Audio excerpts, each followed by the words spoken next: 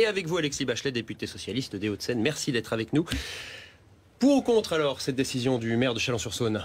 Ah bah moi je suis euh, partagée parce que d'abord je connais pas euh, bien la situation locale. Alors d'un côté, j'aurais envie de dire écoutez, on va à l'école de la République pour apprendre, euh, pour apprendre à lire, à écrire, à compter, pour connaître Balzac et Racine et tu manges qu'on te donne ou tu manges pas. Et moi qui viens d'une famille juive religieuse, si vous voulez, je ne me rappelle pas avoir jamais demandé que mes parents aient jamais demandé qu'il y ait des repas de substitution à la cantine. Vous y allez pas, vous mangez pas de viande. Ça c'est d'un côté voilà ma position.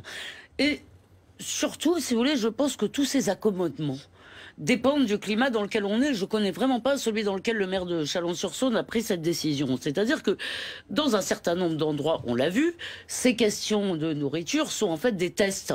C'est-à-dire, il s'agit, c'est pas seulement parce qu'on s'en fout que d'abord dans notre pays, d'abord dans notre pays, beaucoup de gens, si vous voulez, se font enquiquiner plutôt parce qu'ils mangent du porc.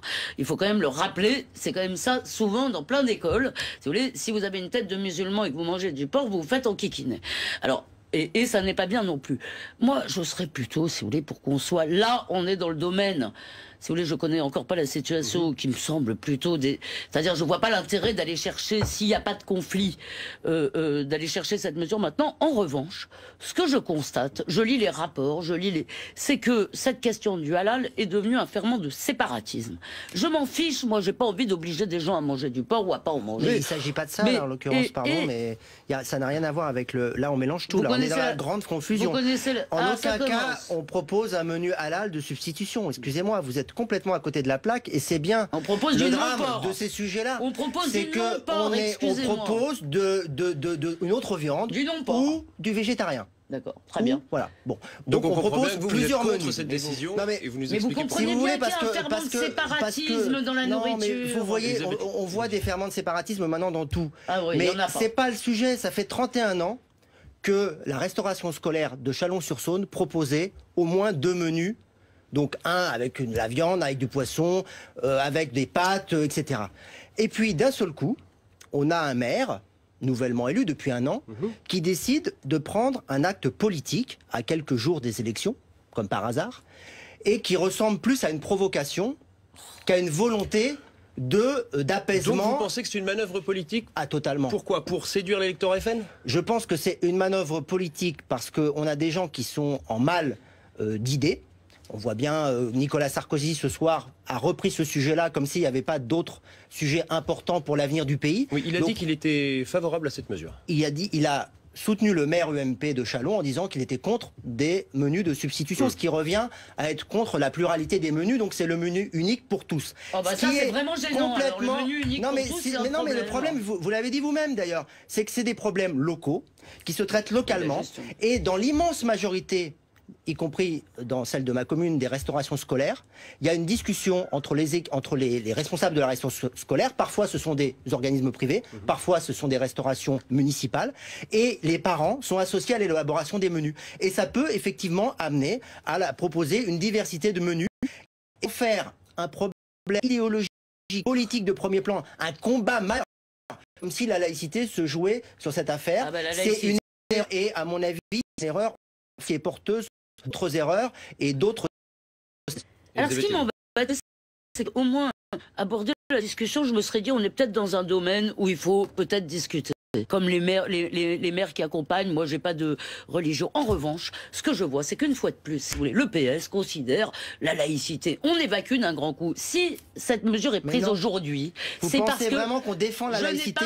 Ah, vous ne défendez pas la laïcité. Les cantine scolaire, ah, On ne prive pas les enfants. Mais ça suffit. Ça revient à ça, madame.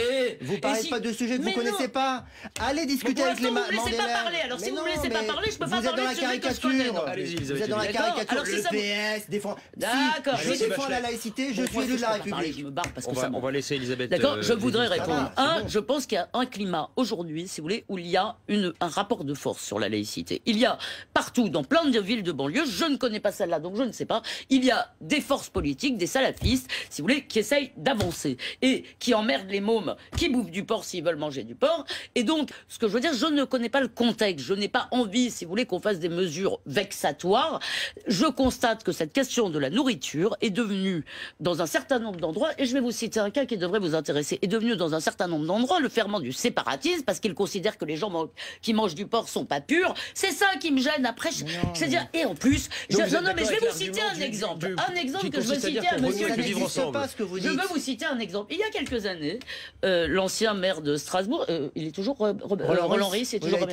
D'accord. Il a eu les élèves, les parents des élèves des écoles euh, publiques, euh, des parents catholiques disent comment c'est pas possible, pourquoi il n'y a pas euh, il n'y a pas de porc, il y a de la viande halal dans les écoles publiques de la ville, et il n'y a pas de poisson le vendredi. Mais non, mais c'est mensonge. il n'y a pas une ville en France où il y a de la viande halal dans la restauration scolaire, c'est un mensonge, c'est un fantasme de Madame Lévy. Arrêtez de dire des contre-vérités. Qu'est-ce qu'il a répondu pourquoi dire, des mensonges Écoutez, il ment. Je vous mets au défi. Je vous mets au défi. Je vous mets au défi de prouver qu'il y a dans une restauration municipale en France de la viande halal. C'est un mensonge éhonté. Vous prenez vos désirs, vos fantasmes de salafisme qui veulent du halal alors que c'est une ultra minorité. C'est faux. Allez, faites monter le Front National. Allons-y. Mais c'est vos mensonges qui font monter le Front National je peux vous répondre, ça ne m'intéresse pas, monsieur. Alors, donc, ce qui m'intéresse pas, c'est la vérité. À l'époque, ce qu'il avait répondu, j'ai la lettre chez moi, je vais vous la porter. Il avait dit il n'y a pas de poisson le vendredi par respect de la laïcité et il n'y a pas, il y a de la viande halal par respect de la diversité. Pas, ça n'existe pas. Vous, c'est un mensonge. Sortez-moi cette lettre. Mais l'argument du vivre ensemble. Sinon, c'est un, mensonge. Et l'argument du vivre ensemble, Alexis Bachelet, rapidement. Mais non, mais moi, j'ai pas besoin d'argumenter sur le vivre ensemble. Ah j'ai besoin d'argumenter contre des gens qui mentent, qui agitent des épouvantails, comme le halal dans les cantines scolaires, qui n'existent pas.